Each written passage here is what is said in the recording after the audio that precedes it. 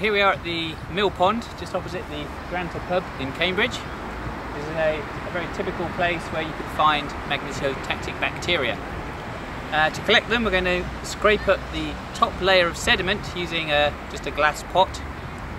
And the sort of best place to look is where there's a very fine-grained, soft, fluffy sediment. Not too sandy, not too stony, not too much leaf coverage. And typically what we would do to collect these things is go to several locations around here, collect maybe 10 or 15 of these pots, mix them all together in the lab and then extract the bacteria from them.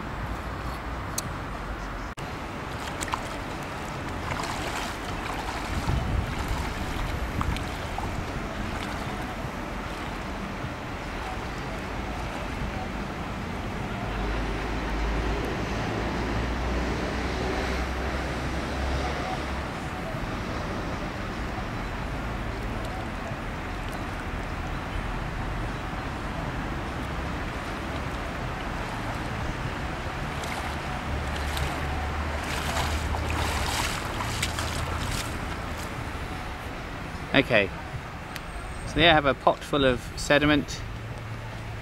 This fine kind of fluffy sediment is what you're after.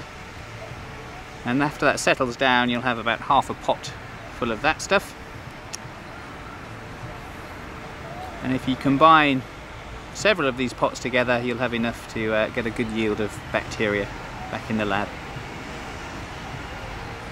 The individual pots of sediment can be combined into one beaker. The beaker shown was extracted six months ago and kept on a shelf covered in foil to prevent evaporation of water. It is possible to use freshly collected sediment, although this may give a smaller yield of bacteria. To separate the bacteria from the sediment, we will place two small bar magnets on either side of the beaker at a height just above the sediment-water interface. Here we use books to provide a platform for the magnets at the appropriate height. Because this sediment was extracted in the northern hemisphere, the majority of bacteria will be north-seeking, i.e. they should swim parallel to the Earth magnetic field towards geographic north. Since the north pole of the Earth is actually a south pole magnetically, this means that bacteria will attract to the south pole of a bar magnet.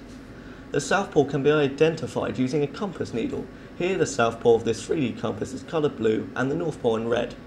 With the magnets placed as shown, the bacteria will swim from left to right and collect close to the south pole of the bar magnet on the right.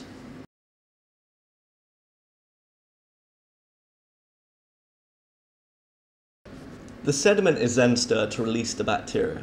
The sediment is then left to settle for about an hour, allowing time for the bacteria to swim towards the magnetic pole.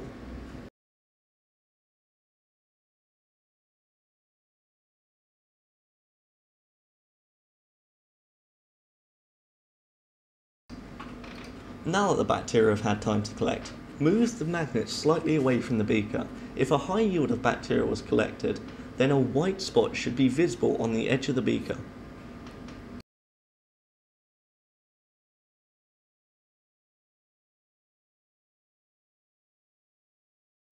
Use silicone grease to form a watertight ring on a glass microscope slide as shown.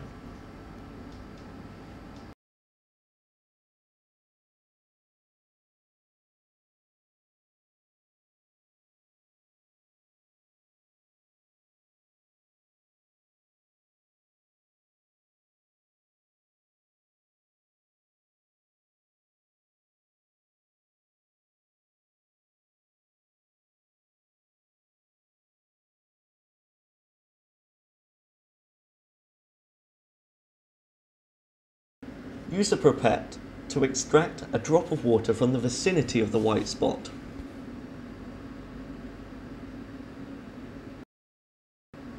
Now place this drop onto the microscope slide as shown.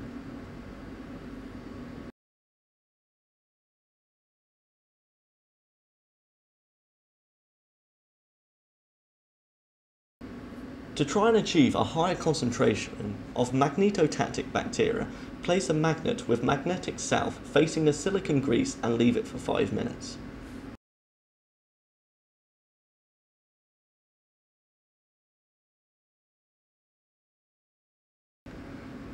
After 5 minutes, prepare most of the excess water from the side of the ring opposite to the magnet. Place a cover slip over the slide, which is now ready for viewing under a light microscope.